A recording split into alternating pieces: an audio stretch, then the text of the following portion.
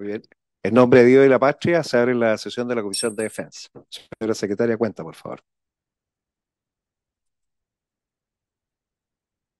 En la cuenta, señor presidente, tenemos las excusas de, de la señora ministra de Defensa Nacional que no puede participar por motivos de agenda y sin embargo ofrece toda su disposición para temas futuros. Muy bien, se ofrece la palabra por la cuenta. Quiero, eh, señora secretaria, eh, solicitar el acuerdo de la comisión eh, para eh, primero informar respecto al seminario técnico que se realizó el día viernes, Chile-Francia, el caso de la defensa de- del ciberespacio, en donde se abordó un tema muy relevante de nivel estratégico. No sé si es factible que podamos permitir a los, a los asesores que puedan ingresar ya. Perfecto. Para que también los asesores puedan eh, comentar esto. Vamos a esperar que ingresen.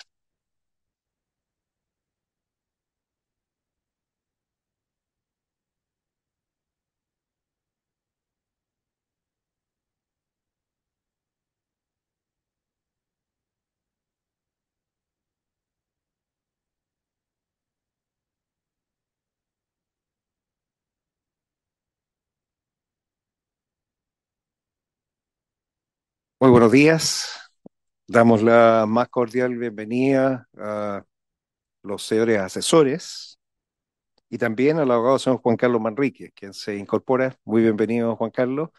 Estamos en este momento en la tabla eh, y he pedido que ingresaran los asesores eh, porque voy a dar cuenta y solicitar el acuerdo después de la comisión para enviar un documento a la ministra de Defensa Nacional, básicamente de las conclusiones del seminario técnico realizado este día viernes en Santiago, eh, con presencia de los, eh, algunos de los asesores de eh, las senadoras y senadores. Senadora Proboste, le agradezco que su asesora haya estado presente. Básicamente, el tema que se trató fue de la experiencia de Francia en toda la defensa del ciberespacio y la señal de alerta a, través de Francia y también de la organización militar a la que ellos eh, pertenecen, la OTAN, respecto al riesgo cuántico. El día Q es el día en que los computadores cuánticos van a quebrar todas las claves públicas y privadas que conocemos y todos nuestros sistemas de seguridad eh, nacionales, eh, ya sean públicos o privados, la banca, van a quedar expuestos. Esto significa que los países han decidido desde el año pasado eh, lanzar una, una, estrategia al respecto y específicamente la OTAN eh, lanzó estos días la primera estrategia cuántica de la historia. Yo solicito entonces eh, el acuerdo para que las conclusiones del seminario se las podamos hacer llegar a la ministra de Defensa Nacional eh, que nos pueda exponer cuál es la visión del Ministerio de Defensa respecto al riesgo cuántico, qué estrategia es la que va a llevar adelante Chile para superar esta situación de grave riesgo, eh, considerando más aún que eh, en, los estudios se estima que dentro de los próximos seis años eh, vamos a estar bajo este riesgo. Podría ocurrir en cualquier momento, pero no más allá de seis años lo cual requiere desarrollar capacidades, conocimientos y recursos. Por lo pronto, la buena noticia es a nivel nacional ya existe empresas de base científico-tecnológica que están trabajando con empresas francesas para la generación de llaves cuánticas. ¿Esto qué significa? Eh, proteger eh, de la forma actual eh, con una, de una forma más robusta. Pero básicamente lo que se requiere es conocer cuál es la visión de la ministra de Defensa cuál es la estrategia que se pretende seguir y de qué forma Chile va a abordar este desafío cuántico. Yo le llamaría así, el desafío cuántico. ¿Cómo vamos a enfrentar desde el punto de vista militar? Y obviamente esto impacta al mundo económico, la banca, al mundo de las comunicaciones, toda la, reserva y los secretos que existen con eh, la criptografía eh, que tiene que ser capaz de resistir este impacto cuántico. Si le parece bien a la senadora el senador. Muy bien, se envía el documento, le haremos llegar las conclusiones después y básicamente la solicitud que nos puedan venir a exponer. Señora secretaria, primer punto de la tabla. El señor presidente pone en discusión el estudio del proyecto de ley en primer trámite constitucional, iniciado moción de los honorables senadores señores Osandón, Galilea, García, Proen, Cipiú, que modifica el artículo 14D de la Ley sobre Control de Armas, con el objeto de eximir de las sanciones que indica a los funcionarios de las Fuerzas Armadas y de Orden y Seguridad Pública por determinadas conductas ejecutadas en actos de servicio, correspondiente al boletín 16.480-02. Muchas gracias, señora secretaria. ¿Podría dar lectura al artículo único del boletín 16.480-02 para que quienes siguen la transmisión eh, puedan saber lo que se va a discutir ahora? ¿Sí, presidente, hago una relación del proyecto? Eh, ¿O solo el artículo? el, eh, una relación breve y después el artículo para el contexto. Esta propuesta legal, como se dijo, fue iniciada entonces en moción de los senadores señores Manuel José Osandón, Rodrigo Galilea, José García, Rafael Proens y Kenneth Pugh. Ingresó a tramitación al Senado el 19 de diciembre de- del 2023 y se dio cuenta el día 20 del mismo año, eh, del mismo mes y año para que fuera remitido a esta comisión. Esta propuesta legal se estructura en base a un precepto único permanente en virtud de lo cual y de conformidad a lo prescrito en el artículo 127 del reglamento de la corporación puede discutirse en general y en particular a la vez. El objetivo de esta iniciativa consiste en modificar la ley de control de armas para eximir de responsabilidad penal a los funcionarios de las Fuerzas Armadas y de Orden y Seguridad Pública que en acto de servicio con ocasión de este disparen un arma de fuego de las señaladas en el artículo segundo, letra B del referido texto legal. Al respecto, los autores de la moción que da origen a esta proposición de ley recuerdan que en el año 2021 la ley 21.310 introdujo enmiendas a la, con- a la ley de control de armas a fin de sancionar a quienes detonen dispositivos de fuego, fuegos artificiales y otros elementos sin contar con la debida autorización para ello. Aseguran que dicho cuerpo legal tuvo su foco particularmente en los denominados funerales de alto riesgo. Sin embargo, evidencian que la redacción del texto normativo mo- modificado no, no considera la hipótesis que el autor de tal acción forme parte de las Fuerzas Armadas o de las de orden y seguridad pública, lo que ha conducido al absurdo de sancionarlos penalmente por la ejecución de disparos de advertencia al aire realizados para el resguardo del país, particularmente para el de las fronteras. A la luz de los puestos, los legisladores advierten la importancia de distinguir quién es el actor y el operador de aquellos, toda vez que no es lo mismo que los medios disuasivos provengan de quienes ostentan el monopolio legítimo de la fuerza que de narcotraficantes o miembros de bandas organizadas que solo buscan amedrentar o infundir temor en la población. Por lo anterior, proponen enmendar la legislación vigente, eximiendo responsabilidad penal a los primeros. A mayor abundamiento, resaltan que la modificación sugerida redundará en el fortalecimiento de los cuerpos castrenses y de las instituciones de orden y seguridad pública, así como en el resguardo de sus funcionarios. Asimismo, ponen de manifiesto que el escenario de inseguridad del país obliga a tener una legislación adecuada y actualizada para enfrentar el crimen organizado, a los narcotraficantes y a los delitos terroristas con toda la fuerza del Estado del Derecho. Eso sería, señor presidente, y el Ejecutivo no ha hecho presente la urgencia para el proyecto. Muchas gracias, señora secretaria. Eh, damos la cordial bienvenida al senador Macaya que se integra. Eh, hemos puesto, eh, tal como se ha señalado, comenzar el estudio. Sin embargo, el Ejecutivo se ha arrestado de esta iniciativa, del estudio del proyecto. Decidió no venir hoy. Las razones podrán ser muy atendibles, pero creo que este es un tema relevante, especialmente si hablamos de la situación actual de eh, seguridad que está viviendo el país, en donde tienen que existir reglas claras y precisas. No pueden haber dudas de la forma en que se va a hacer uso de la fuerza legítima que tiene el Estado a través de miembros de la policía o de las Fuerzas Armadas. Eh, eso es lo que más me llama la atención, que no se le dé urgencia a un tema tan relevante y que eh, no tengamos la presencia de ellos. Eh, no sé si antes de comenzar a escuchar, eh, tenemos invitado al abogado señor Juan Carlos Manrique, que sí está presente. Si alguno de los eh, senadoras o senadores presentes quiere hacer el, eh, alguna uso de la palabra antes. Muy bien, le damos la palabra al abogado señor Juan Carlos Manrique. Adelante, por favor. Señoras senadoras, señores senadores, asistentes, todo, muy amable, señor presidente, por su invitación. Eh, esta vez eh, se me ha solicitado presentar una opinión eh, fundada particularmente respecto del boletín, señor presidente, salvo que usted disponga también otra cosa, o extenderlo a otra materia, número 16.079-02, que es el que contiene la que se ha denominado el debate sobre las RUF o reglas de uso de la fuerza. Así es, señor Juan Carlos Manrique, efectivamente, para eso fue convocado.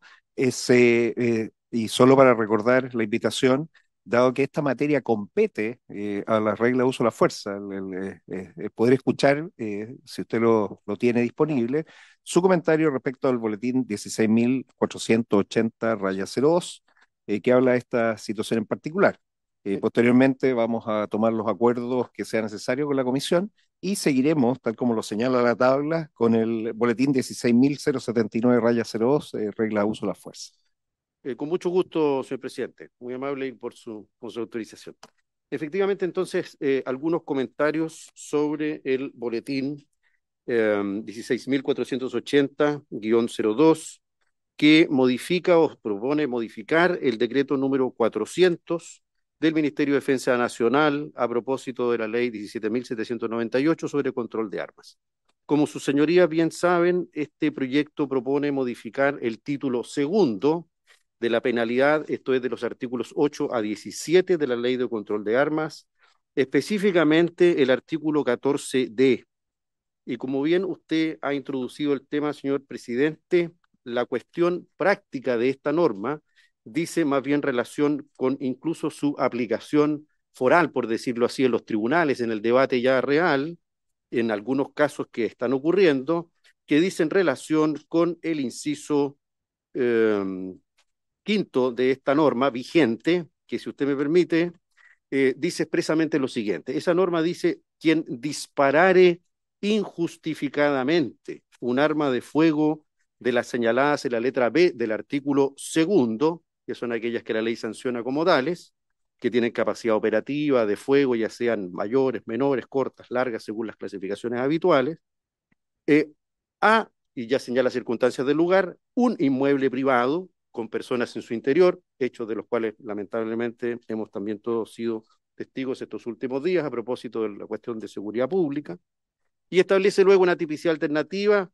o en, eh, utiliza entonces esta circunstancia del lugar, desde o hacia uno de los lugares mencionados en el inciso primero, será sancionado con la pena de presidio menor en su grado máximo. Esto es 541 días a, eh, perdón, eh, de tres años y un día a cinco años de presidio menor en su grado eh, máximo. Tres años y un día a cinco años. ¿Cuál es la conflictividad que plantea esta norma? Es que en principio, señor presidente, honorables senadores, si nos ponemos en la hipótesis, primero circunstancial, si usted me permite, los eh, antiguos profesores de derecho penal italiano denominaban a estas circunstancias del lugar de los delitos circunstancias cosmotelúricas, porque decían que eran aquellos lugares de tiempo, lugar donde éstas se producían. Esta norma razona sobre dos circunstancias de lugar, que el disparo se produzca desde un determinado lugar y hacia un determinado lugar. Son conductas de riesgo. Y es así como cuando se modifica la ley, este delito tipo penal se ha venido en llamar, y así se conoce en la práctica, como disparo injustificado, disparo injustificado. Eso supone, en primer lugar, en su contexto, que efectivamente fueron creadas para sancionar estas conductas que se producían en el marco de los denominados narcofunerales u otro tipo de actividades que no suponen el uso de armas de fuego, ni tampoco celebrarlas, ¿no es cierto?, o de alguna manera eh, entrar en alguna hipótesis de algarabía popular utilizando armas de fuego para dispararlas al aire. Muchas de esas consecuencias fatales las tuvieron también estos disparos injustificados con lo que se conoce también como balas locas. Ese es el contexto en el cual esta norma fue aprobada. Sin embargo, las circunstancias de tiempo, si uno atiende a lo que se denomina la teleología de la norma, esto es el fin que persigue la norma, es proteger bienes jurídicos de principal relevancia. En primer lugar, la vida, la salud, la integridad corporal de personas distintas al disparador, personas distintas a quien genera el disparo, que se pueden ubicar dentro de alguno de estos inmuebles o lugares que la norma señala en el inciso segundo, o bien dentro de aquel del cual se produjo el disparo, no necesariamente con la intención de lesionarlo o matarlo, porque si así fuera, en ese caso esa conducta queda subsumida en la hipótesis de homicidio o lesiones, según el asunto, y se sancionará con la pena más grave. Sin embargo, en la práctica también se ha demostrado que hay quien usa el arma más de una vez, por ejemplo, para generar temor, dispararla al aire, injustificadamente, esto es sin autorización, o sin que se dé las circunstancias que hacen legítima esa acción, luego dispara para herir o matar. En ese caso se produce lo que se denomina un concurso real entre una lesión grave o la muerte más los sucesivos disparos injustificados. Y en la práctica se produce una acumulación de penas. Se sanciona el homicidio, las lesiones, más los disparos injustificados, todo lo cual se agrupa en una pena, de acuerdo a las reglas vigentes, artículo 74 del Código Penal, 351 del Código Procesal Penal, y la, el incremento penal, el resultado penológico suele ser muy alto. O sea, en esos casos quienes resultan condenados lo son a menos apenas de 10 años y un día de presidio mayor en su grado medio hacia arriba, ¿verdad? Esa es la circunstancia, la teología y la justificación de esta norma. Sin embargo, el caso que aquí se plantea es otro. Es el caso en que una persona que en principio está cumpliendo una función legítima en un rol que la Constitución, la ley y el Estado le ha otorgado. Pensemos particularmente en un funcionario de las Fuerzas Armadas, de carabineros, de la aviación, de, la Armada o del Ejército, que en un cuartel está, ya sea de franco o de servicio, y utiliza su arma de servicio para disparar al aire, en las mismas condiciones, por ejemplo, de algarabía, celebración o injustificación. En ese caso no hay ninguna duda que esa persona puede ser procesada, digamos hoy día investigada, formalizada y condenada por la figura de disparo injustificado. El problema es otro, el problema es que en la práctica se ha producido que estos mismos funcionarios, o en prácticas de tiro, o en prácticas de eh, prueba de determinados proyectiles, dentro de sus cuarteles, en las labores de entrenamiento, que deben entenderse legítimas, ilícitas, han disparado algunos de los elementos que la ley de control de armas considera armas, explosivos o municiones, aun cuando no dañen a nadie, aun cuando no hieran a nadie, pero el hecho objetivo ha ocurrido. Entonces, como la ley razona en virtud de conductas de riesgo, particularmente riesgo tolerado, si el riesgo tolerado se incrementa injustificadamente, se convierte en un riesgo indeseable. Si es un riesgo indeseable, aunque no haya resultado, la decisión político-criminal y lo que aplican los tribunales hasta ahora es aplicar lo que se denomina la imputación objetiva del tipo penal, independientemente de la voluntad de querer causar un resultado o no, y atribuirle este delito y esta pena al funcionario que está ejerciendo tales labores. Por ejemplo, en bancos de prueba, por ejemplo, en pruebas de tiro, por ejemplo, dentro de los recintos militares, navales, etc. ¿Cuál es el problema? El problema, señor presidente, es que a mi modesto juicio se produce aquí una colisión entre qué? Entre reglas generales del Código Penal em, que permitirían resolver esa situación en principio sin la necesidad de modificar la ley, en principio. ¿Por qué digo eso? Porque si se trata de una persona que ejerce una función legítima, un rol legítimo, conforme a su ley orgánica, conforme a sus protocolos, con el arma de cargo, conforme a todas las técnicas y reglas de entrenamiento, y dispara ese proyectil o arma, incluso para entrenar, no está sino cumpliendo, primero, con su deber, segundo, ejerciendo una profesión, oficio o cargo legítimo, y tercero, está cumpliendo además con las propias cargas de la función pública que es su entrenamiento. Si así fuera, esa es una conducta justificada, que va a ser siempre, en principio, ilícita, disparar un arma de fuego desde uno de estos lugares, como señala el artículo, el artículo que estamos analizando, el 14 de inciso primero, dentro de un regimiento, por ejemplo. Pero resulta que en ese caso, al producirse una opción del legislador, porque está ejerciendo una opción legítima y una función y un rol legítimo, puede uno atribuir que esa conducta está justificada por el ejercicio legítimo de una profesión, oficio o cargo que es una eximente de responsabilidad penal, en específico, una causal de justificación, que en principio hace que una conducta que es formalmente contraria al derecho, a virtud de estas circunstancias, de lo que se llama un interés preponderante, en este caso se vuelve a tornar lícita, formal y sustancialmente. Entonces, siendo así de claro esto, y siendo una tradición constante y así aplicada por nuestros tribunales, uno podría tender a pensar que en principio lo que se produce más que un problema de legalidad es un problema de interpretación y de aplicación y de adjudicación de los jueces respectivos del grado en los tribunales que han tenido que conocer estas normas caso a caso. Reitero, si efectivamente un funcionario del ejército, la armada, carabinero o la aviación dispara injustificadamente, esto es, sin autorización, sin razón, sin motivo, ¿ah? sin estar en circunstancias de entrenamiento, por ejemplo, esa arma de servicio o incluso una privada, no hay duda que eso va a ser delito, va a ser un disparo injustificado. Pero si eso lo hace en cumplimiento de su rol, función o posición como consecuencia de su labor, entonces eso va a ser lícito.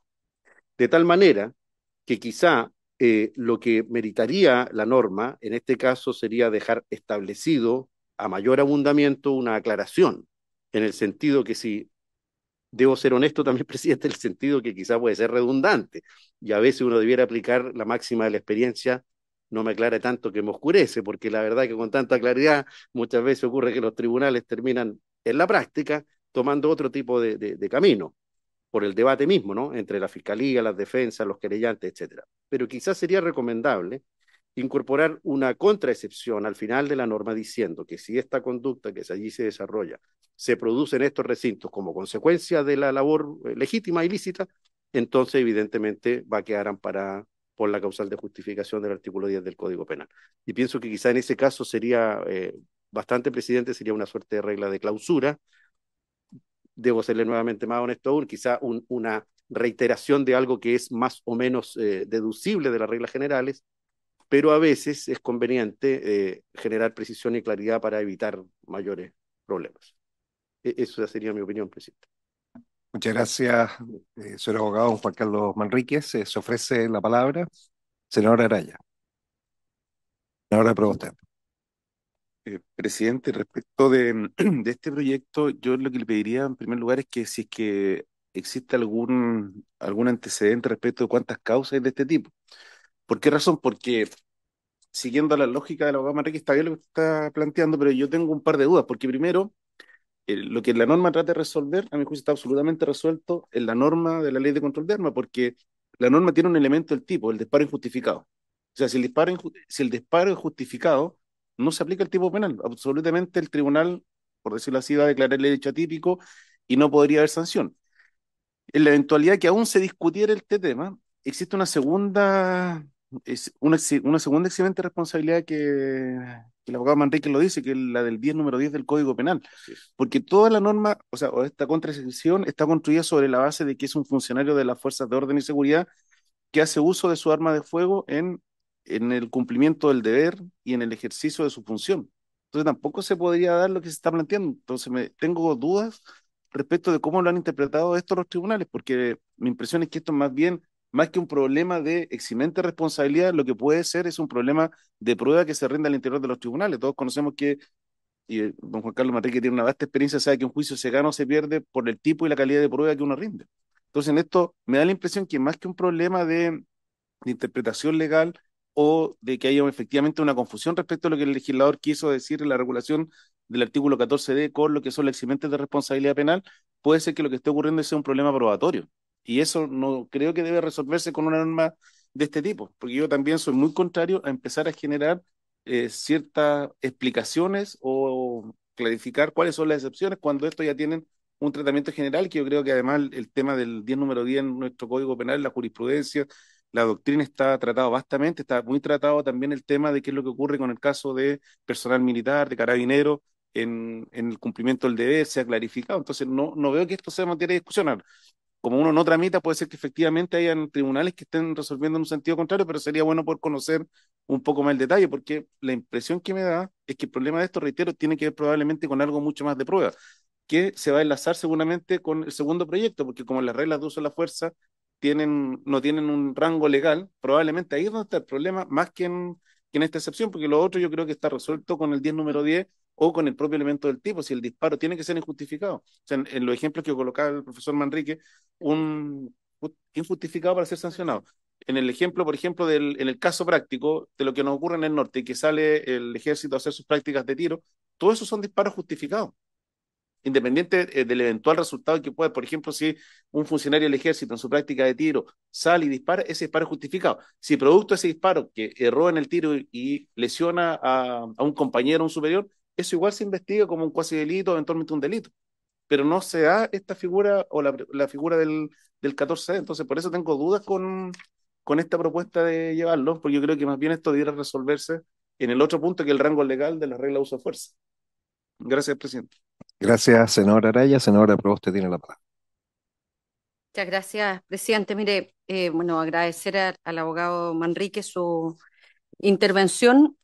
Creo que eh, es bueno escuchar eh, los invitados, pero también creo que en esto el Ejecutivo tiene que marcar una posición respecto de esta iniciativa. Y como lo ha señalado el, el senador Araya, esta iniciativa está íntimamente ligada con, una, con otro proyecto de ley que también ha demorado mucho el análisis y la discusión que tiene que ver con, la, con eh, las reglas del uso de la fuerza. Pero yéndonos a esta moción que han presentado lo, los senadores, eh, a mí me quedan varias dudas porque el delito de, disparo injustificado exige como eh, muy bien lo dice su nombre, que el responsable no sea capaz de justificar la conducta.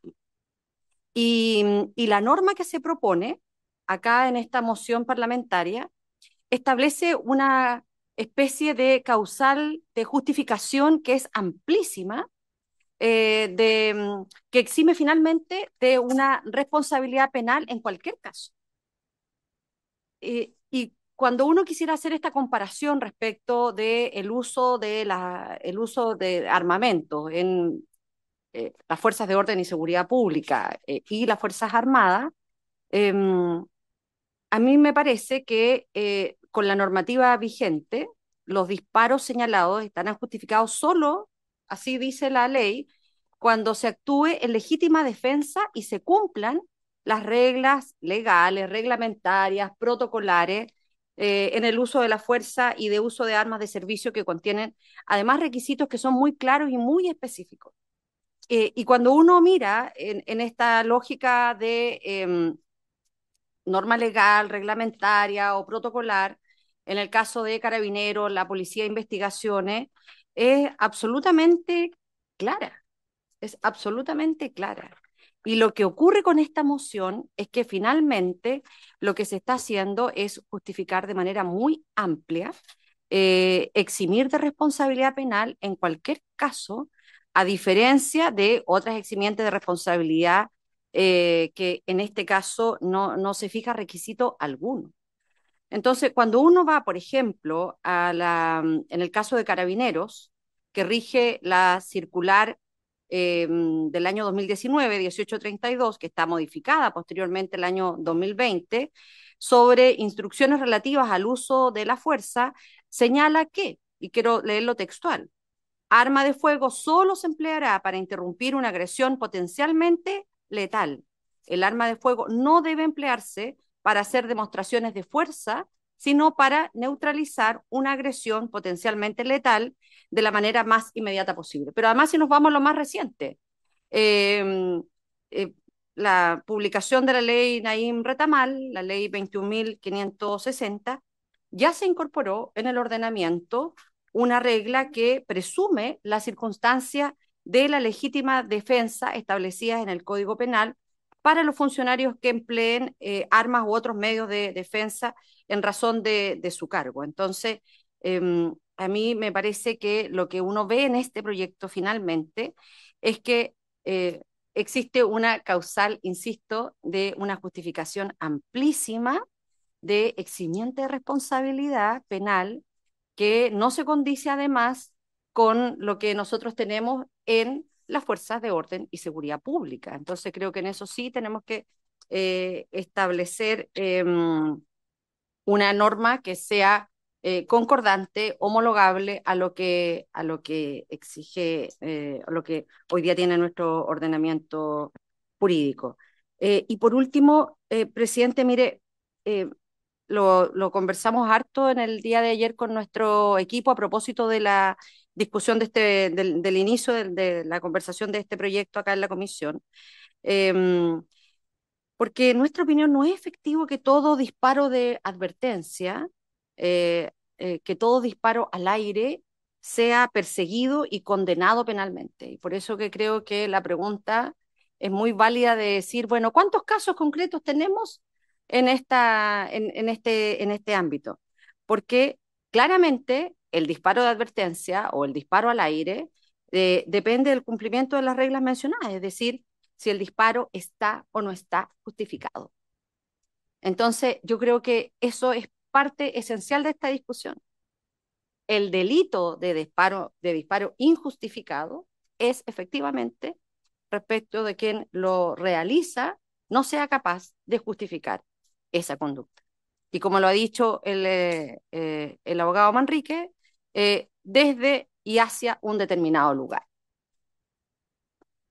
Creo que yo más bien le preguntaría a los mocionantes cuál es la estadística que está detrás y que ampara esta, esta iniciativa y por qué, si hemos eh, tenido ya una publicación recientemente, como la ley Naim Retamal, que establece esta modificación y da garantías en ese amplio eh, espectro, porque tenemos que hacer una norma tan amplia de eximir de responsabilidad, particularmente a las Fuerzas Armadas en esta materia.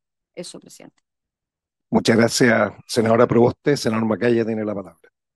Muchas gracias, presidente. A ver, yo, yo comparto el, el diagnóstico que se esboza respecto de que acá sería fundamental y es un trabajo que pocas veces hacemos, presidente, revisar jurisprudencia en esta materia. Eh, ¿En qué caso específico la aplicación de esta norma ha significado eh, una, una situación de desmedro para carabineros o fuerzas de orden y seguridad eh, en el ejercicio de sus atribuciones. Estamos hablando siempre de actos en el servicio eh, y con ocasión de esto. O sea, eh, desde la perspectiva de, creo, que es útil recordar, o sea, en el marco de la ley 21.310, el año 2021, cuando se legisló a propósito del tema de los fuegos artificiales, ahí se hizo, ahí se hizo la, la, el aumento de pena, el aumento de grado respecto a, esta, conducta. Teníamos un, un, una, situación que, que y, eso tenía que ver con el, con el, con el contexto de, mm, de disparo de armas de fuego, fuegos artificiales sin autorización, en el marco del combate al narcotráfico.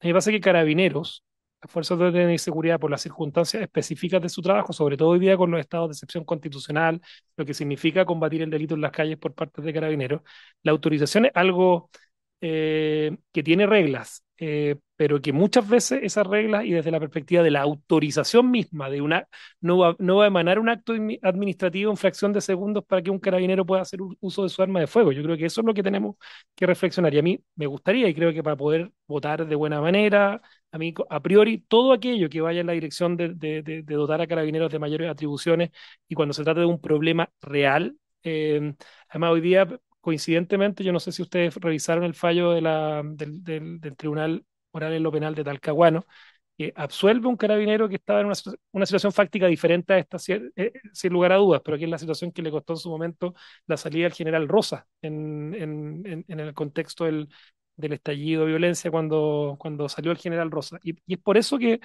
eh, yo le invitaría, presidente, y yo me imagino que los colegas van a estar de acuerdo, que revisemos en qué situación puntual se ha aplicado esta norma y hemos tenido un perjuicio quizás, eh, y, la, revisión de la jurisprudencia es algo que no debiera ser tan difícil hacer y muchas veces lo obviamos a la hora de, de votar una norma como esta. Así que yo eso es lo que sugeriría y, y si, lo, si el resto de los colegas están de acuerdo, me parecería que sería un insumo muy importante para continuar la discusión de este proyecto. Muchas gracias, senador Macaya. Efectivamente, yo creo que el, eh, si hubiésemos tenido el Ejecutivo, probablemente habríamos tenido data oficial, que lo, pero eh, no ocurrió. Eh, por lo tanto, si les parece, optemos de acuerdo para solicitarle al Ejecutivo precisamente esto. Si existe, es que vamos a pedir dos oficios. El, uno eh, sí, lo que pasa es el, el, ordenamiento jurídico, de acuerdo al Código de Justicia Militar, eh, entra primero eh, a resolver si han habido disparos injustificados o no que se sancionen internamente. Eso es la primera data que necesitamos tener. O sea, la, claro, ¿por qué? Porque tal como se ha señalado, nadie está autorizado a disparar. Es más, la munición se controla. Y eso es muy importante, la gente que sigue eh, estas transmisiones sepa eh, que las personas van con su munición y regresan y se cuenta para saber si había algún disparo o no. O sea, hay un control, por supuesto, existe un control. Si alguien disparó, tiene que informar por qué disparó eh, y, aportar los antecedentes. ¿no? no siempre va a haber algún testigo, que es también bien importante. O sea, esos son los elementos a tener a la vista. Eh, por lo tanto, podemos eh, pedir perfectamente a- al Ministerio de Defensa, desde el eh, punto de vista administrativo, si han habido sanciones por disparos injustificados, si esto ha existido, eh, al eh, Ministerio de Justicia, el, eh, pedirle los antecedentes de alguna causa o si algún tribunal ha eh, resuelto en sentido contrario, tal como señaló el senador Araya. Eh, si, si, si, si hay algo que nos pueda aportar de antecedentes. Eh, no sé si alguien, eh, senador Araya, usted quiere agregar algo más. Presidente, respecto al oficio, yo pediría que se oficiara al Ministerio Público, porque tiene muy buena estadística de todas las causas, y eventualmente a la Corporación Administrativa del Poder Judicial, porque ellos llevan el registro de, de, mm, de, de los fallos, que, de la jurisprudencia de fallos. Entonces, pedir, y ahí poder cruzar efectivamente cuánto hay más lo que usted dice de los temas de justicia militar que nos tiene el Ministerio Público. Perfecto. El senador Cruz Coque quería hacer uso de la palabra.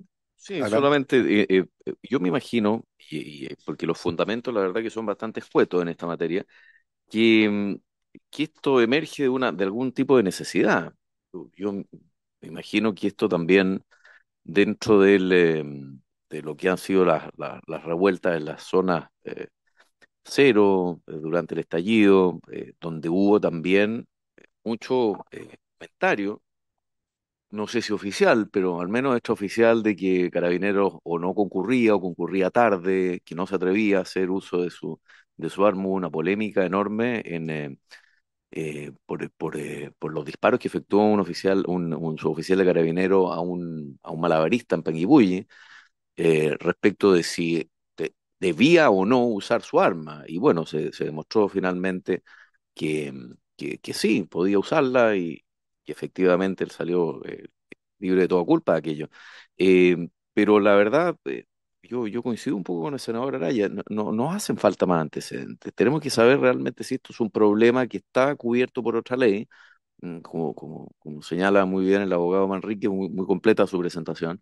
Eh, a veces de, tanto especificar se puede terminar oscureciendo y logrando lo- los objetivos contrarios a los que el proyecto dice perseguir. Entonces, saber cuántos casos eh, hay, saber qué opinan también quienes en la práctica tienen el control del orden público respecto de la necesidad o no eh, de, una ley similar, como se han ido aprobando otras normativas, entre ellas la ley Na- Naín Retamal, eh, eventualmente eh, puede ser que esto no sea necesario. Yo siempre soy partidario de que ojalá, como sucede en, la mayoría de los países eh, donde hay control del orden público y hay un- un Estado de Derecho que tiene eh, alguna, algún músculo, alguna fortaleza, yo soy partidario de que las policías eh, tengan, ojalá, el más amplio rango dentro de la ley para poder ejercer su, eh, sus atribuciones.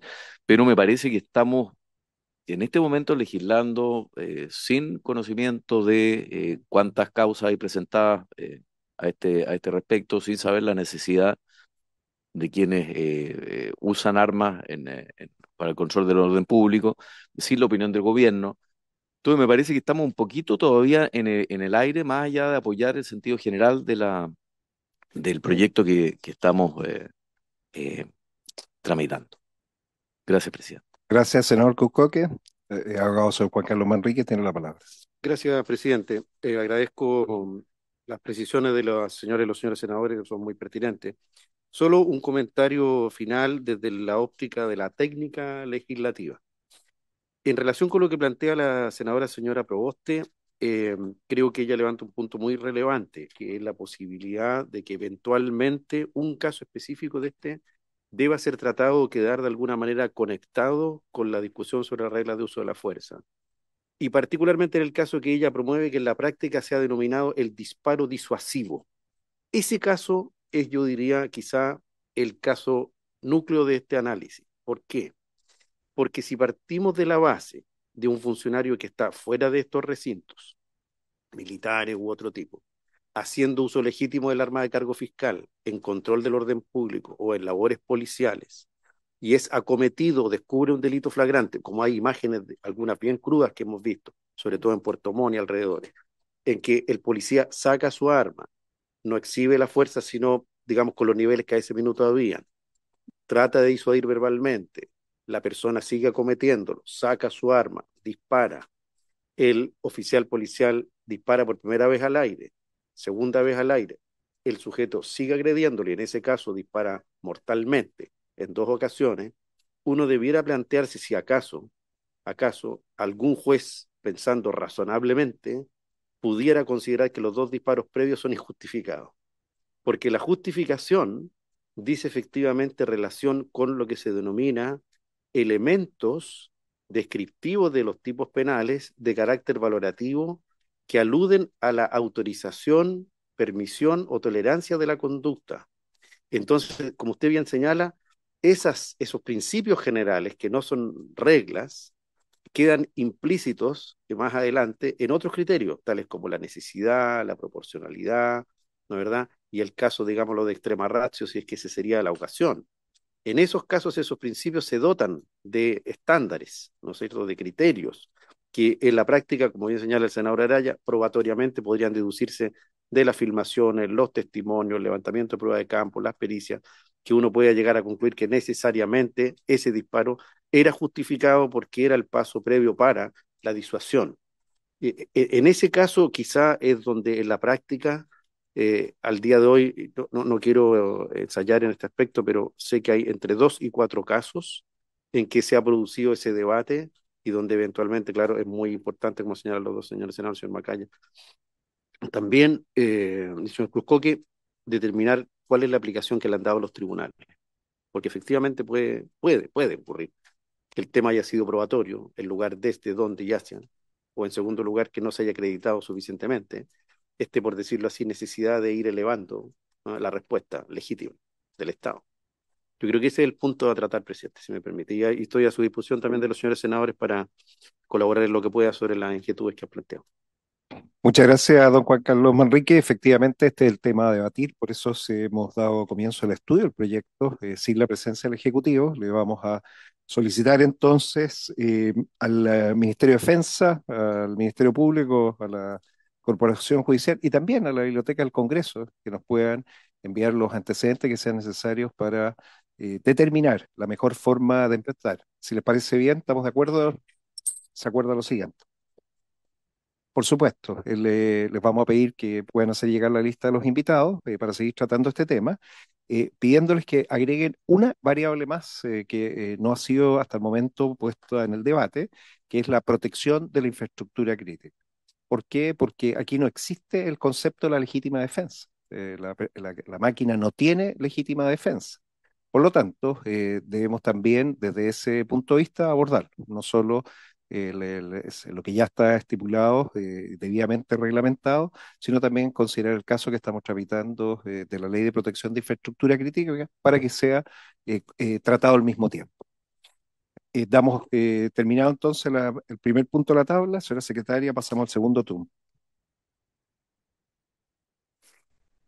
Señor presidente, pone en discusión el, eh, el, continuar con el análisis del proyecto de ley en primer trámite constitucional. Iniciado moción de los honorables senadores señores Osandón, señora Proboste y señores Araya, Cas y Piu, que regula las reglas para el uso de la fuerza por parte de las Fuerzas Armadas y de Orden y Seguridad Pública en las circunstancias que indica Boletín 16.079-02.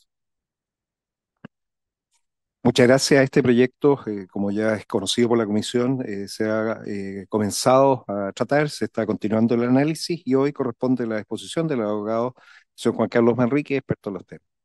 Señor Manrique tiene la palabra. Muchas gracias, señor presidente, honorable senador, honorable senador, nuevamente. reitero mi agradecimiento por su invitación y voy directamente al tema. Efectivamente, señor presidente, voy a plantear las primeras aproximaciones, y digo primeras, porque efectivamente he elaborado un informe que he denominado Borrador 1, porque en mi modesta experiencia siempre de estos debates, en, las audiencias y en las sesiones, aparecen datos que eh, enriquecen notablemente lo que uno puede analizar y me comprometo a incluirlo a la brevedad y hacérselo llegar como un eh, texto final.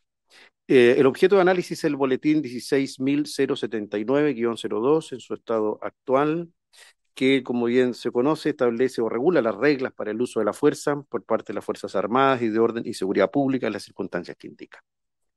Si usted me permite, señor presidente, antes de entrar al análisis del articulado, su estructura, los fundamentos, objetivos, algunas observaciones y sugerencias, ese estimo, más allá del debate que se ha producido ya extenso en esta comisión, plantearse una pregunta eh, previa, dos en realidad el por qué y el para qué de las reglas de uso de la fuerza, que, es bien importante fijar este contexto aquí. Si usted me permite, voy a partir con una cita. Muy Esta bien, cita partamos. es, muchas gracias, es del rector de la Universidad para la Paz de Naciones Unidas, una universidad en particular destinada a formar líderes, personas destinadas a trabajar en estas materias y particularmente a generar también eh, influencia en relación con lo que es el uso de la fuerza legítima por parte del Estado al amparo de Naciones Unidas eh, con mirada y con lógica en clave de balance y respeto de derechos humanos. Este, esta persona es don Francisco Rojas Aravena, el rector de esa universidad. Él dice, en un texto que señalaré, que en primer lugar la misión central del Estado es proporcionar estabilidad, eso es lo que él señala, para garantizar la protección de la población y promover su bienestar. Como veremos, es muy coincidente con nuestro texto constitucional. De allí entonces señala este autor que una labor estatal central es proveer orden y seguridad, ambas, orden y seguridad. Y aclara que esta labor de orden y seguridad el Estado la realiza en casos extremos, que es donde vamos a tratar, mediante el empleo del monopolio del uso de la fuerza, legítima, con un objeto que es asegurar o propender a la estabilidad, como facilitación de la convivencia pacífica. O sea, se da la primera atención que hay que recurrir al uso de la fuerza para poder asegurar la convivencia pacífica. ¿no ¿verdad? Pero eso es una realidad desde siempre. También el funcionamiento de la institucionalidad y particularmente los mecanismos de solución de controversias que residan en los tribunales, o sea, asegurar independencia de las instituciones, como usted bien decía, dentro de otras, por ejemplo, la infraestructura crítica en nuestro lenguaje y otras.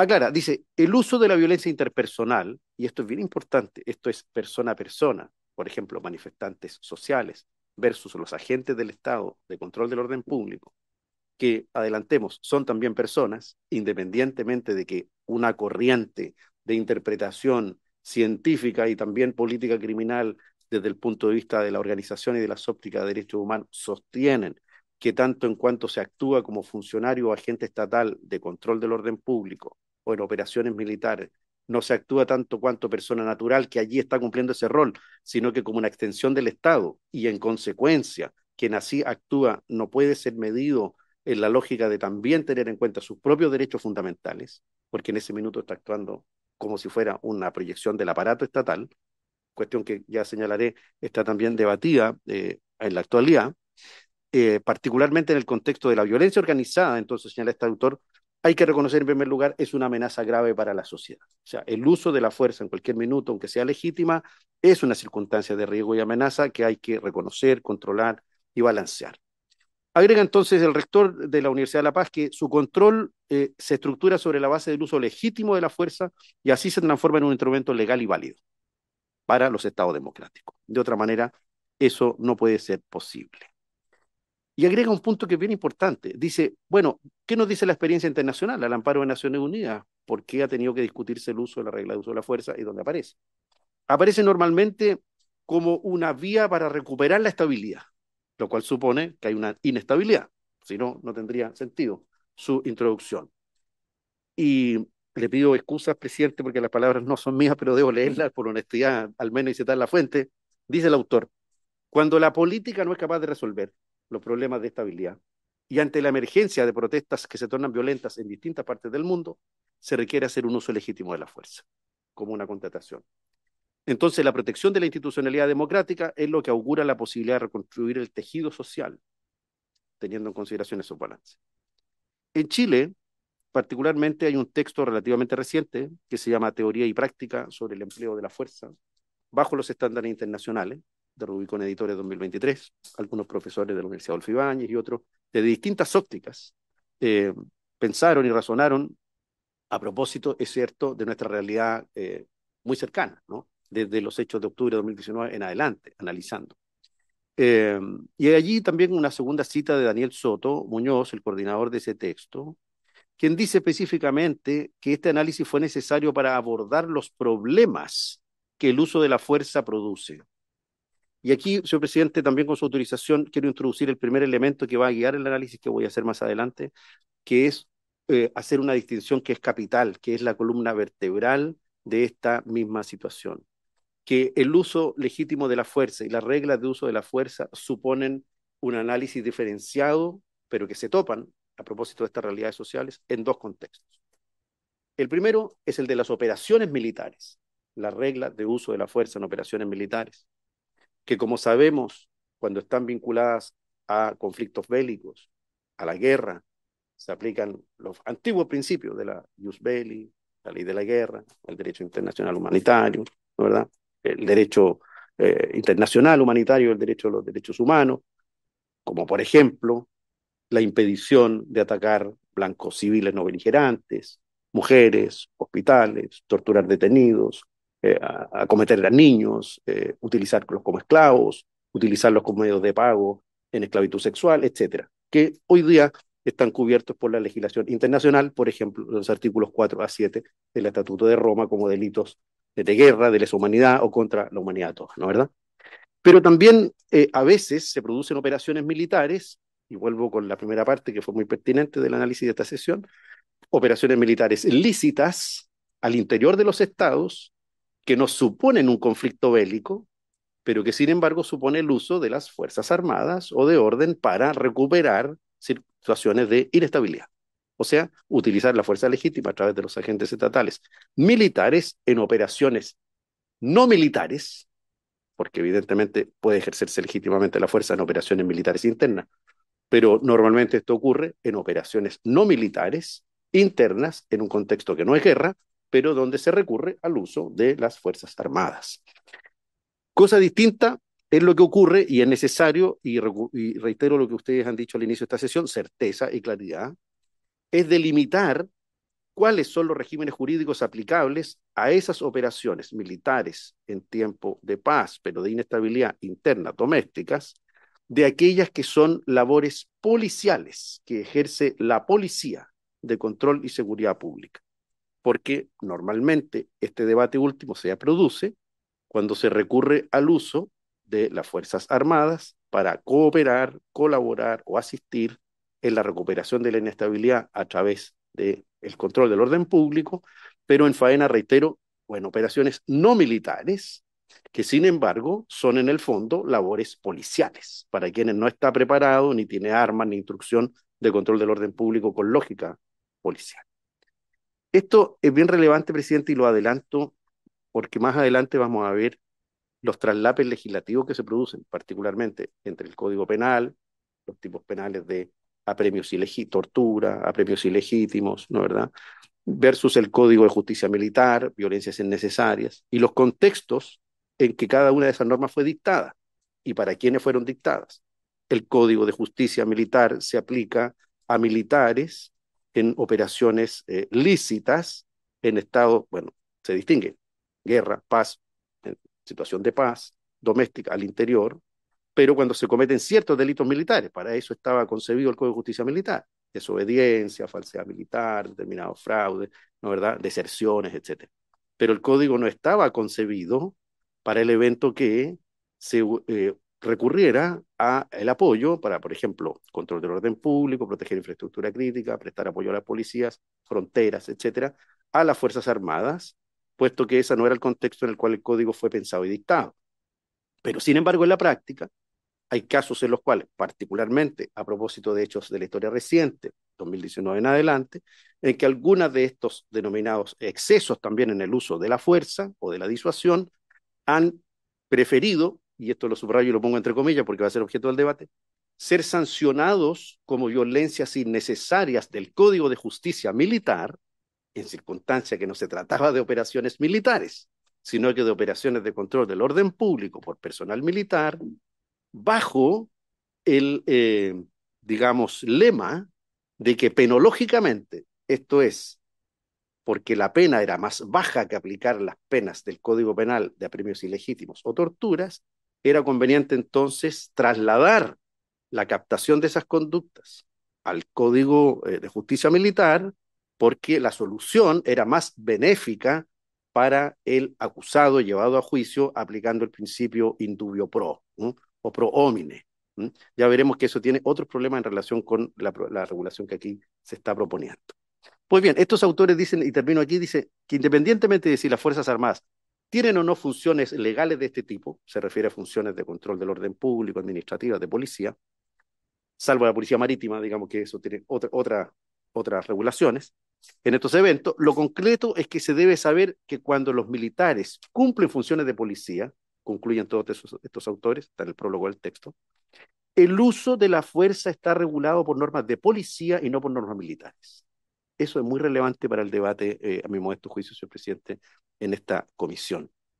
El uso de la fuerza está regulado, dicen todos estos autores, por normas de policía y no militares, de modo que la única causal para emplear armas de fuego es la legítima defensa ante agresiones posiblemente letales, como bien ya se ha adelantado. En consecuencia, no se requiere un marco jurídico especial, dicen estos autores, ni regla de enfrentamiento con los particulares, solo cumplir desde la óptica del estándar de derechos humanos la aplicación de la ley. Esas dos citas corresponden a ese texto, Teoría y Práctica sobre el empleo de la fuerza bajo los estándares internacionales. Es interesante porque esas, en el fondo, lo que hacen es fijar también el marco conceptual del debate. Presidente, sobre el documento, y particularmente el comparado y el proyecto de ley, en primer término, tengo que decir eh, brevemente algunas cuestiones sobre su eh, fundamento eh, y sobre su objetivo. Como ya se ha planteado y lo saben bien la señora senadora y los señores senadores, eh, este proyecto de ley eh, pretende articularse con la constitución política. En su artículo primero, inciso cuarto, eh, allí está su justificación constitucional, particularmente en el deber que tiene el Estado de estar al servicio de la persona humana y como finalidad promover el bien común, entendido que la seguridad pública es condicionante del bien común. Y también contribuir a crear condiciones sociales aptas para que se desarrolle la persona y la familia. E-, ese es el marco normativo, el primer anclaje del proyecto, ni más ni menos que el artículo primero, inciso cuarto de la Constitución. Luego, en la justificación constitucional se dice que también se recurre al inciso quinto del artículo primero. Esto es que este proyecto de ley se enmarca en el deber del Estado de resguardar la seguridad nacional, dar protección a la población y a la familia. En consecuencia, el proyecto entonces se incardina con la que son bases de la institucionalidad y las labores del Estado. Ahora, más adelante, el proyecto precisa rápidamente cuál es su objetivo. El objetivo, coincidentemente con la doctrina nacional y extranjera más autorizada, es el dar precisión, como ha dicho también la señora senadora y los señores senadores hoy día, delimitar muy bien dónde pudiera estar la frontera entre la acción de control del orden público lícita y la ilícita, y una segunda frontera interna, esto es aquella en que las Fuerzas Armadas, que no son carabineros, el ejército, la aviación o la armada, ejercen labores de control del orden público o seguridad pública en tiempo de paz doméstica para recuperar la estabilidad. Eso es sumamente importante. Allí se requiere un marco, por decirlo así, y un estándar bastante elevado de precisión, para no confundir que en realidad se trata de acciones militares en tiempo de paz de los militares con personas civiles, porque el Estado los convoca no a eso, sino que a apoyar, a realizar, a eh, ejecutar labores de control del orden público, asistiendo a las policías, partiendo de la razón, aunque no se diga, que las policías no son suficientes, no estoy diciendo capaces, suficientes para poder cumplir con esas labores de recuperar la estabilidad. Esa es, de alguna manera, el llamado que el propio Estado le hace en relación de este deber que tiene de asegurar a todas las personas la seguridad y las condiciones mínimas para su desarrollo. Entonces, allí se requiere mucha certeza jurídica. El proyecto dice que para enfrentar la crisis de seguridad en el contexto actual se requiere certeza jurídica, tanto para los ciudadanos, o sea, quienes pudieran llegar a ser sujetos del uso de la fuerza, o incluso también refleja, como para los funcionarios que ejercen estas labores de control del orden público. Y aquí el asunto es comprensivo de todos, tanto de carabineros como de investigaciones, como de las Fuerzas Armadas. Particularmente distinguiendo lo que es seguridad interior y protección de fronteras, que es también la proyección donde estas reglas han de aplicarse. No solo por decirlo, perdone, presidente, la licencia, en las calles, sino que también en las fronteras y también labores de protección de seguridad interior. Se parecen, pero no son iguales. La seguridad pública la seguridad interior, la recuperación de la estabilidad, están emparentadas, pero no son exactamente lo mismo. Entonces, allí también esos elementos van sirviendo para ir modulando y regulares. Entonces, hay que reconocer que a propósito de esta precisión, las reglas de uso de la fuerza para permitir la, eh, la introducción de las Fuerzas Armadas en estos contextos son reglas excepcionales. Y como son excepcionales, tienen que ser extremadamente detalladas. Y partiendo de la base que si son excepcionales, entonces su aplicación también, presidente, es restrictiva. Las reglas excepcionales no permiten hacer inferencias generales, ni tampoco permiten las reglas excepcionales, en este caso, interpretaciones extensivas. Deben interpretarse restrictivamente en el caso, porque eso es lo que les da su legitimidad. Eso es lo que las hace de alguna manera eh. Particularmente en relación con el control del orden público, seguridad interior, entendiendo que este es un servicio público continuo y permanente. Continuo y permanente. Eso sí es cierto. Esperemos que estas circunstancias sean excepcionales, pero la labor de control del orden público es continua y permanente. Y este uso del de, el arma de cargo, fiscal, de las labores de control, etcétera, están destinados a garantizar el orden y la seguridad de la sociedad y los derechos de las personas. Dicho eso entonces, y en base a esos eh, principios, me aboqué al análisis que voy a exponer ahora, tratando de la manera más sucinta, con dos subcriterios que el proyecto también entrega. El primero es el de ser esta una regulación robusta. Eso es muy importante, porque, como bien ha dicho la senadora Campillay, estas reglas eh, eh, existen hoy, digamos, existen hoy, existen hoy, o sea, van a, van a, van a ser aprobadas conforme usted, presidente, y los senadores que impulsan esta moción eh, han puesto sobre la mesa y sobre el tapete un tema tan relevante como este y por tanto recién ahora se va a tener una regulación robusta con el rango de ley de la norma de uso de la fuerza eh, como hasta ahora no ha existido en nuestro país. Esto es sumamente relevante, presidente, tenerlo en cuenta a la elaboración de las normas, porque existe, como bien lo saben y también lo esbozó eh, el senador Araya muy bien, las reglas penales se complementan habitualmente con eh, normas que están entregadas, por ejemplo, a las eh, otras autoridades colegisladoras, el presidente de la República u otros, a través de reglamentos. Y esos reglamentos no pueden ir más allá de la ley, son más bien detalles de la ley, pero tampoco pueden, comillas, traicionar la ley, ¿no es cierto? Su objetivo, su sentido.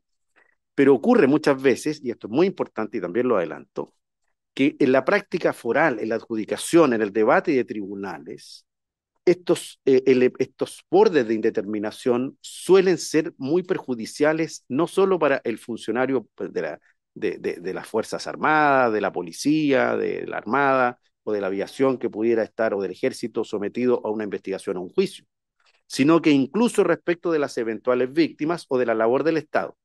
Me explico, mire, si tomamos un ejemplo concreto y actual, la ley Nain Retamal, al intentar perfeccionar, y lo hace, por ejemplo, los artículos 150 y el 150D de apremios ilegítimos, dice que una de las razones por las cuales se considerará que se ha superado el uso proporcional de la fuerza para cumplir una labor policial y terminar apremiando sin justificación a una persona, a un detenido, señala en esos casos que específicamente se va a configurar cuando se vulneren las la ley y las reglas y las otras normas reglamentarias vigentes. Fíjese, presidente, que esto es muy relevante porque en muchos de los procesos que estaban pendientes hasta antes de esa modificación legal, no existía esa claridad, precisión y robustez.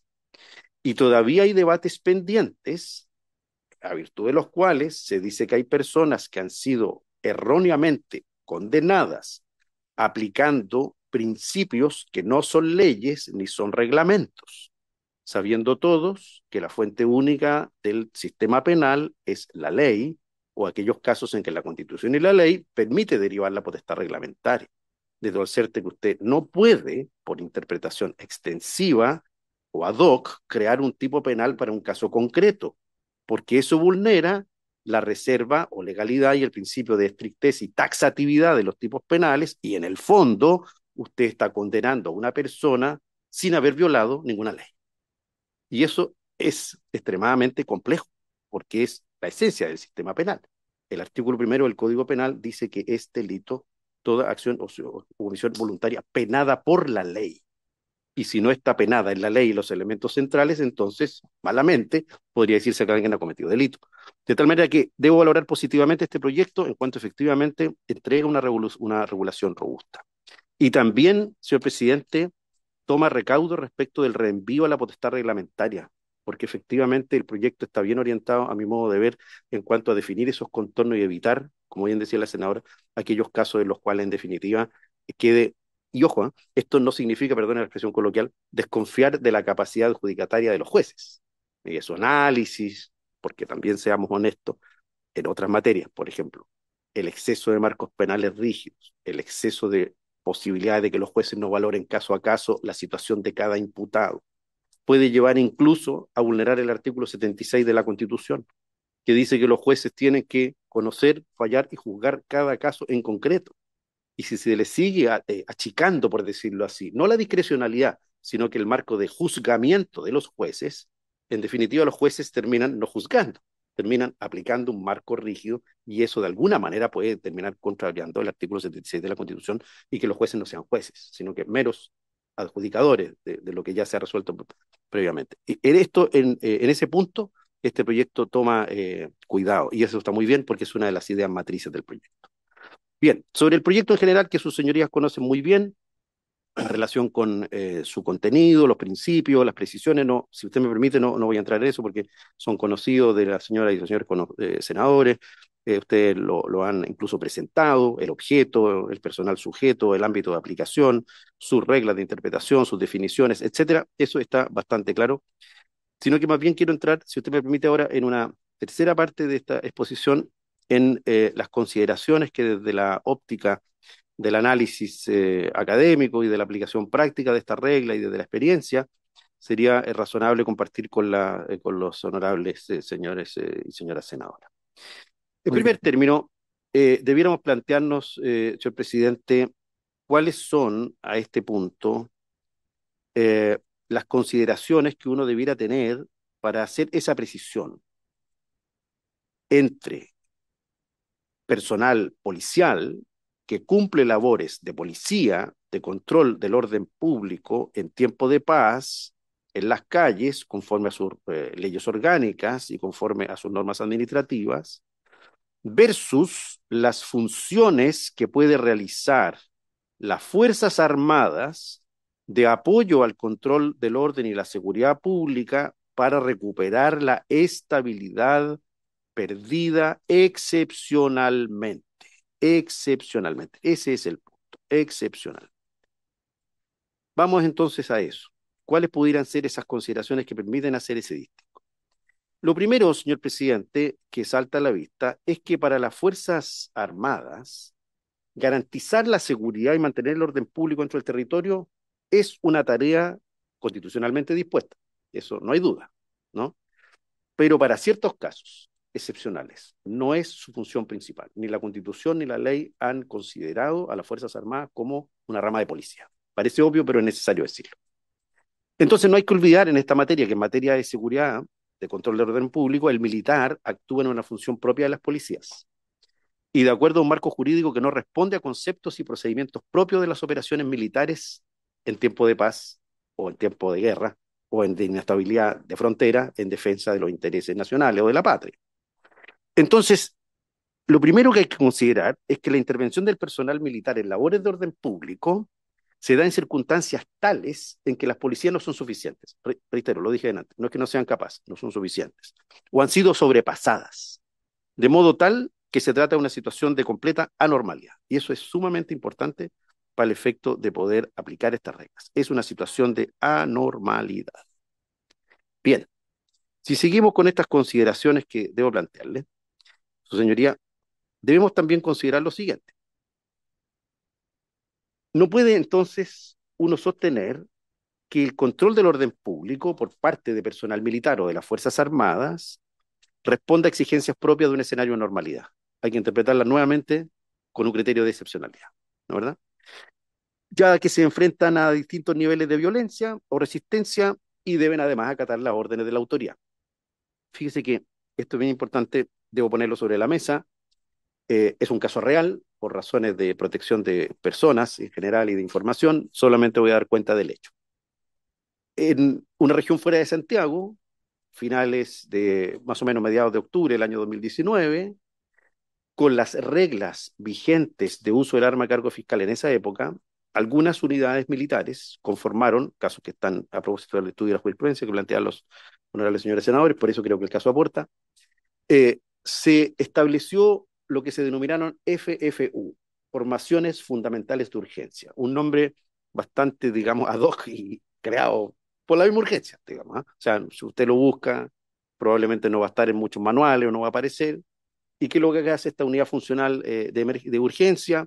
Era un piquete de personal de Fuerzas Armadas que recibe la orden desde, obviamente, eh, el control central del país, de sus superiores, va bajando la orden por razones de jerarquía y organización estructurada de las Fuerzas Armadas, y se dice salgan a la calle a apoyar la contención del orden público en desmanes y o eh, asaltos, robos en mall o quema de material público privado. Entonces, enfrentado a esta orden y al tener que salir, esta fundación, esta formación fundamental de urgencia, que no era sino una patrulla, a cargo eh, de un suboficial eh, y con incluso soldados con criptos, llegan a la zona de este regimiento a tomar armas para poder salir a controlar el orden público y se encuentran con que el, el, armero y las personas que le tienen que entregar los elementos para poder salir a la calle le dicen, no tenemos armas de control del orden público y no sabemos cómo hacerlo porque no tenemos armas que disparen balines de goma ni aire comprimido y solo tenemos armas letales de guerra con parte de munición de salva.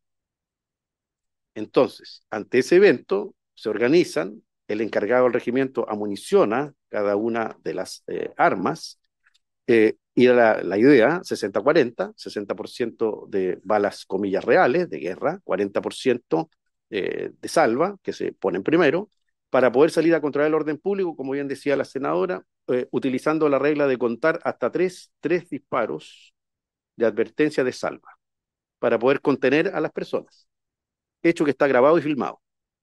Sale esta patrulla, primer eh, disparo de advertencia, o sea, llamado advertencia, la gente no se detiene, disparo al aire, ¿no es cierto? Ya alguien se retrae. Segunda llamada de advertencia, disparo al aire, alguien no, no se retiene, ¿no? ¿verdad? Sigue los acometimientos, la gente cambia de destino, atacan eh, un mall, digamos, de, de, esta ciudad, y eh, tercer y último llamado de advertencia, ¿no es cierto? Orden de disparo, y lamentablemente una de las armas tenía eh, alterado el orden y sale una munición de guerra que hiere a una persona gravemente, es una herida transfixiante, golpea el cuello de otra que termina fallecida. Ese caso ha sido juzgado no para las personas que dispararon el arma, sino que quien iba a cargo, como una violencia innecesaria en tiempo de paz por omisión, una mezcla de acción y omisión, por permitir que se aplicara violencia innecesaria al disparar un arma de cargo fiscal que tenía una munición de guerra. Y dice el fallo, no pudiendo sino advertir que atendía las condiciones en las que esas armas fueron amunicionadas, al menos una de aquellas podía o podría haber tenido una munición de verdad. En este caso, una munición de guerra. Es un hecho tremendo y lamentable. La consecuencia, señor presidente, de ese problema es que esa persona que no dispara una bala, está condenada a 15 años y un día más 600 días. Bajo el pretexto de, digo pretexto científico, de traer la conducta a ser sancionada por el Código de Justicia Militar y no por el Código Penal, porque se decía de llevarla al Código Penal, tortura no lo captaba, a premio ilegítimos tampoco, porque no estaban bajo custodia. Entonces, siendo personal militar, en tiempo de paz, realizando una operación de control del orden público que no era militar, termina entonces eh, siendo sancionado por la regla del Código de Justicia Militar. Esa sentencia fue confirmada por la Corte respectiva. En eso, este proyecto tiene un enorme valor. Se lo debo decir, que tiene un enorme valor en evitar que ese tipo de casos efectivamente, que son dramáticos tanto para la víctima como para los interventores, eh, eh, sea una nueva ocasión de que ocurra. Entonces, el presidente, para el uso legítimo de la fuerza por parte del Estado, entonces debe responder a estas reglas claras, eso estamos claros. Y debe también tenerse en cuenta este doble propósito. Las reglas del uso de la fuerza, en este caso, tienen un doble fin. Por una parte, ya voy concluyendo, deben ser una garantía para los ciudadanos que la fuerza será empleada por la autoridad de manera legítima, por una parte, respondiendo a principios y reglas que están establecidos en la, la base de la ley. Y por otra, debe también tener en claro que eh, deben tener balances eh, y a su vez salidas si se da un fiel cumplimiento a estas normas, como quizá puede ser lo más polémico, que es la eximente responsabilidad especial para quienes ajusten su comportamiento a estas normas, ¿no verdad? Ese es un tema que no puede sino tenerse en cuenta. Entonces, señor presidente, ¿es posible mejorar y precisar eh, el objeto de la ley? Siempre, sin perjuicio que el artículo primero es bastante claro. ¿Cómo? Eh, haciendo una reordenación sistemática, de manera que los principios, deberes y condiciones permitan el establecimiento de la regla de uso de la fuerza. Eso eh, es simplemente una reordenación de carácter formal. Eh, mi primera valoración sobre el proyecto. Reitero mi total disposición a contribuir en el tiempo que pueda y de utilidad para el señor presidente y las señoras y señores senadores. Estoy a disposición para cooperar también en eso. Eh, senadora Proste ha pedido la palabra y le damos la palabra por mientras. Vamos a interrumpir brevemente. Senadora Proste. Bueno, muchas gracias, presidente. Mire, quiero agradecer la intervención de el abogado Manrique. Solo señalar en que esta moción parlamentaria es una de las tres iniciativas que hoy día están rondando en torno a las reglas del uso de la fuerza. Y, mm, y yo quisiera hacer una consulta porque cuando nosotros presentamos esta moción, eh, de alguna forma el Ejecutivo nos pidió que eh, dejáramos eh, en, pausa este proyecto porque el Ejecutivo iba a ingresar indicaciones al proyecto de RUF que tiene en la Cámara. entonces yo quisiera saber si es que tenemos alguna noticia, si es que el Ejecutivo presentó o no indicaciones en la Cámara en, en el proyecto de reglas del uso de la fuerza. Pero además, en el proyecto de infraestructura crítica también tenemos un capítulo de reglas del uso de la fuerza. Entonces, en definitiva, tenemos tres iniciativas que están rondando eh, con un propósito eh, similar, pero creo que sería bueno que tomáramos una decisión respecto de cuál iniciativa va, va a avanzar. Eh, me atrevo a decir que en el proyecto de infraestructura, el proyecto de infraestructura crítica está tan débil eh, la iniciativa tan poco madura que mm, eh, pareciera que ese capítulo que incorpora en reglas de uso de la fuerza, más bien debiéramos trasladarle a la discusión de esta moción parlamentaria.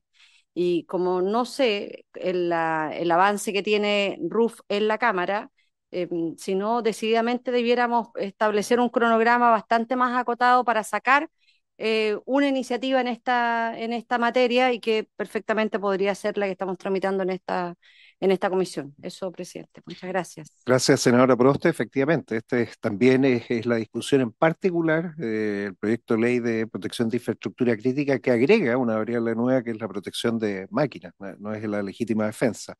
El, eh, no sé en qué trámite eh, estén en la Cámara, pero los dos estamos en primer trámite con la diferencia que nosotros tenemos además la ley de protección de infraestructura crítica. O sea, estamos trabajando las dos de forma coherente, eh, porque teniendo a la vista esa ley aparecen necesidades que son eh, distintas. Yo creo que esa es la diferencia con el proyecto de la Cámara. La Cámara lo está viendo de la forma tradicional, no está integrando eh, este proyecto de ley de protección de infraestructura crítica. Esa es como la principal diferencia porque lo tenemos en primer trámite en cada una de las cámaras.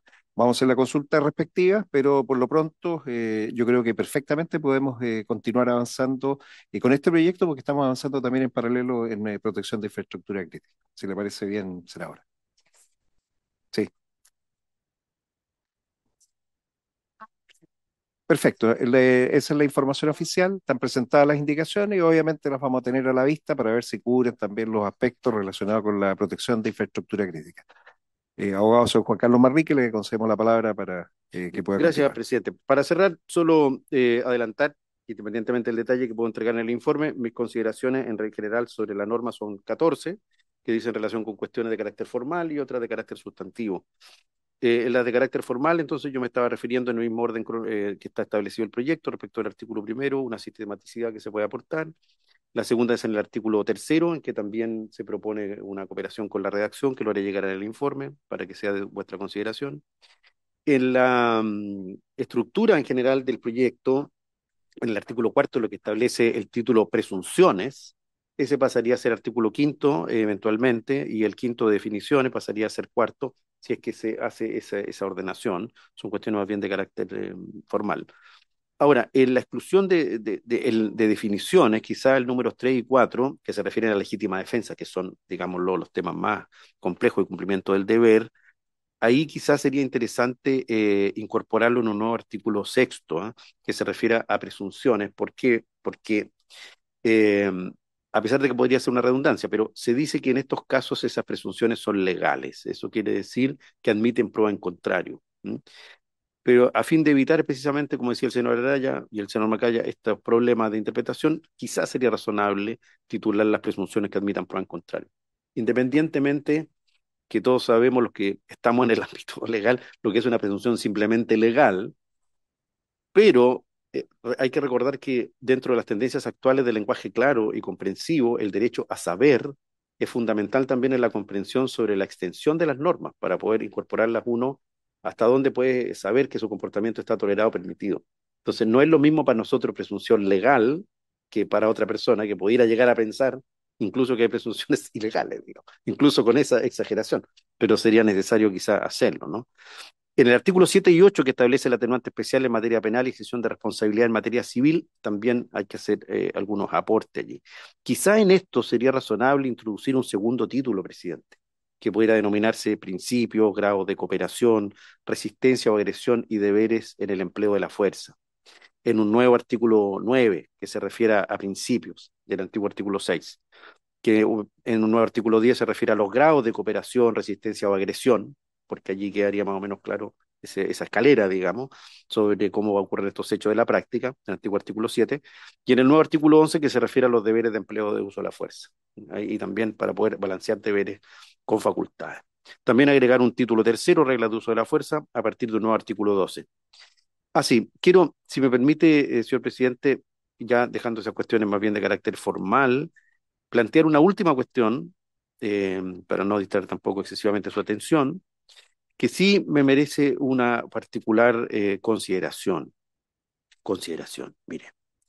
Además de las presunciones legales de cuando se entiende que se ha usado legítimamente la fuerza, como bien lo dijo el senador Araya, creo que ese punto ya quedó suficientemente claro, eh, hay un tema particularmente delicado que está en el, numeral 5 propuesto en el, proyecto de ley de los principios, artículo quinto de definiciones, que dice relación, señor presidente, con el concepto de fuerza letal.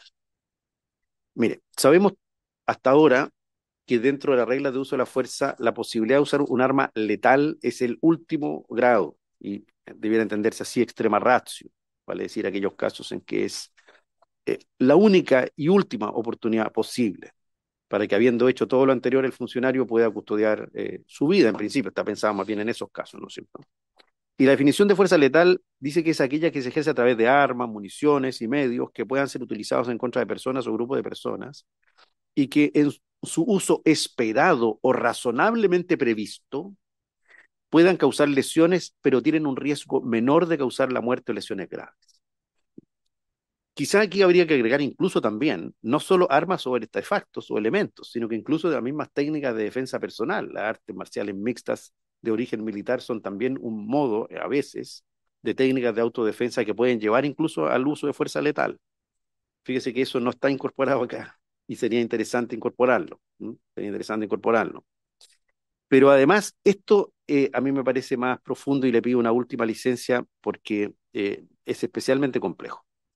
La norma dice que la fuerza menos letal en estos otros casos, y así como la letal, que puedan ser utilizadas contra personas o grupo de personas, dice que serán tales cuando su uso esperado o razonablemente previsto pueda causar lesiones, pero al mismo tiempo tienen un riesgo menor de causar la muerte, lo cual supone que las otras, si bien tienen, implican un riesgo razonablemente previsto, tienen un riesgo mayor de causar la muerte. Mire, esto es especialmente delicado porque hace confluir en un solo tipo penal dos avenidas que habitualmente en la interpretación doctrinal de tribunales y de los literatos en derecho penal transitan por caminos distintos y que normalmente no son compatibles. La previsibilidad razonable es, por decirlo así, una tradición doctrinal antigua de unos 300 años, vinculada a los conceptos del hombre medio, aquel que en sus labores habituales y por su conocimiento y experiencia, le permite saber más o menos qué es lo que va a ocurrir si realiza tal acción o incumple tal deber de acción e incurre en una omisión, ¿verdad? Eso es lo que se llamaría de alguna manera la previsibilidad subjetiva, ¿verdad? Por ejemplo, si usted roza a fuego un día de más de 30 grados, más de 30 nudos, menos de 30% de humedad, es altamente probable que se cause un incendio forestal si usted más aún es agricultor. No, difícilmente se va a poder excusar después diciendo es que yo no sabía ni voy a porque lo he hecho muchas veces. Eh, pero además existe la previsibilidad objetiva, porque con este concepto actual de cambio climático, además usted está incrementando este riesgo que ya no es tolerado hasta convertirlo en totalmente indeseable y se puede producir un incendio de vastas proporciones, amenazando a la población como ha ocurrido. Entonces, la previsibilidad parte de la base de más bien actuar a pesar de que uno puede más o menos anticipar los escenarios, aún así actuar. El límite entre esa previsibilidad, actuar imprudente, culpa consciente, con representación, culpa inconsciente, no es que yo no podía saber la totalidad de las consecuencias, o incluso el dolo eventual, me da lo mismo lo que ocurra, y si pasa, bueno, ya, y si no, bueno, también, ¿no verdad? El dolo eventual. Y si pasa, bueno, lo ratifico. Yo, o sabe qué, me lo mismo lo que ocurra porque yo en realidad no quiero a ninguno de mis vecinos y quiero arrasar este pueblo entero, digamos, independientemente de las personas, un dolo de consecuencia segura o de resultado necesario. Es muy distinto a decir que esto se trata pura y simplemente por perder el control de la fuente de riesgo. Porque cuando usted conduce y todo por la Avenida España a 60 kilómetros, estamos realizando una conducta permitida por la ley y tolerada hasta eso. Hasta allí es un riesgo permitido. Pero si circulamos a 100 kilómetros, el riesgo permitido se convierte en riesgo indeseable, aun cuando no atropellemos a nadie. En los sistemas europeos se sanciona hasta con siete años el doblar la velocidad en zonas urbanas, incluso que usted sea que pase a las 4 de la mañana y no ande nadie, ¿no verdad? Porque son delitos de riesgo. Entonces, la interpretación que los tribunales han hecho de una y otra estructura de interpretación del sistema penal y de los delitos no lleva a las mismas consecuencias. Más bien, la previsibilidad o imprevisibilidad ha sido materia de lo que nosotros denominamos tradicionalmente cuasi delitos ¿ah? o delitos imprudentes, que tienen una pena notoriamente menor. Pero si usted pone en una misma norma las condiciones de riesgo, la pérdida de la fuente de riesgo ha llevado a soluciones penológicas mucho mayores, como la que le acabo de expresar, que ha ocurrido en una región distinta a la metropolitana y a esta. Perfecto. Eh, solamente voy a pedir el acuerdo de prorrogar unos cinco minutos más eh, para poder hacer las preguntas, si les parece. Ya, estamos con problemas de agenda. Le pediría entonces si Entonces, fuera eso, eh, posible cerrar. al, al abogado Juan Carlos Manrique la disposición si eventualmente pueda volver a, a contestar alguna interrogante o mandárselas o enviárselas por intermedio suyo, por intermedio de nuestros asesores también. Muy bien, Así lo que haremos de esa manera documental. Don Juan Carlos, para Pido que pueda disculpas por la extensión, señor presidente. Aquí concluyo mi informe. Me comprometo, como le digo, a entregarlo íntegro y quedo a su disposición para las preguntas. Muchas gracias. Gracias a usted. Muy bien, muchas gracias. Cerece, habiéndose dado cumplimiento a la tabla, se levanta la sesión. Muchas gracias.